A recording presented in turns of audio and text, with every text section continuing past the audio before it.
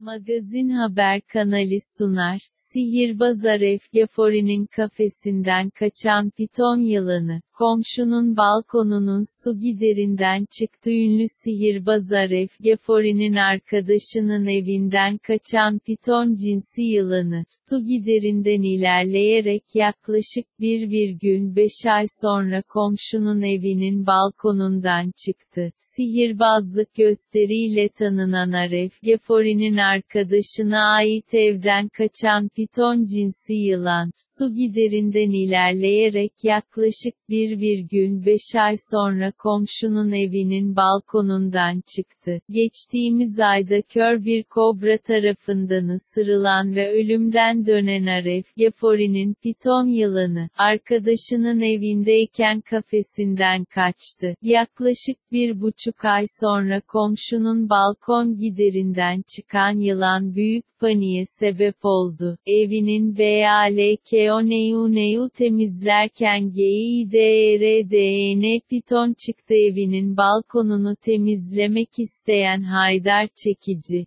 su giderinden çıkmaya çalışan ve bir metreyi geçkin Afrika kökenli bol python, top piton, cinsi yılanla burun buruna geldi. Neye uğradığını şaşıran çekici, ilk olarak demir bir çubukla yılanı etkisiz hale getirmeye çalıştı ancak başarılı olamadı. Tekrar giderek kaçan yılanı su dökerek geri çıkaran çekici, kontrol altına aldığı yılanı zıpkınla başını ezerek öldürdü. Bir buçuk ay önce KAFESİNDN kaçmış yılanın dördüncü kattaki Aref Yafun'un arkadaşı Y.K. ya ait olduğunu ileri süren çekici ailesi, komşularının kapısını çalarak yılan bulduklarını ve kime ait olduğunu sordu. Y.K. yılanın kendisine ait olduğunu belirterek yaklaşık 1,5 ay önce evdeki akvaryumundan kaçtığını ve aradıklarını söyledi. Y.K. yılanın Aref'e ait olduğu yönündeki iddiaları da yalanlayarak öldürülen yılanı çekici ailesinin balkonundan aldı ve apartman dışındaki çöp konteynerine attı attı. ARF,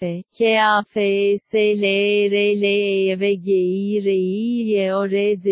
Haydar Çekici, yılanın bir süre önce yılan ısırığı iddiasıyla rahatsızlanan ve tedavi için Mısır'a giden sihirbaz Aref Gefo ait olduğunu ileri sürdü. İlk defa böyle bir yılan cinsi gördüğünü ifade eden çekici, yılanın, ünlü Aref'e ait olduğunu düşünüyoruz. Arkadaşının yanına geliyor buraya ve hemen hemen her gün görüyoruz. Kafeslerle girip çıkıyorlardı. Onun yılan beslediğini de biliyoruz. Yaklaşık bir hafta önce onu eve girerken gördüm. Eğer yılan o neyunsa şikayetçi olacağız çekici, yaşadıkları olayın ardından evlerini boşaltmayı düşündüklerini ifade ederek, balkonunuzdan böyle bir yılan çıkıyor, besleme ve özel bir yılan olduğu belli, yılanı gösterip soracağız. Eğer onunsa kesinlikle şikayetçiyim. Magazin Haber kanalı